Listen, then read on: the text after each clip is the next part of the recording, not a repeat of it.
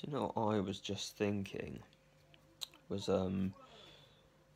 you know, there might be some men out there who are somewhat challenged with girth as opposed to length.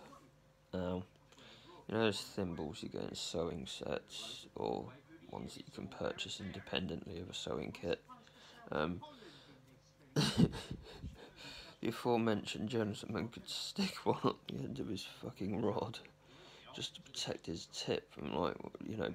when he's banging some bird right up to the boilermaker's nameplate you know just to protect his head from the back of a cock sheath you know what I mean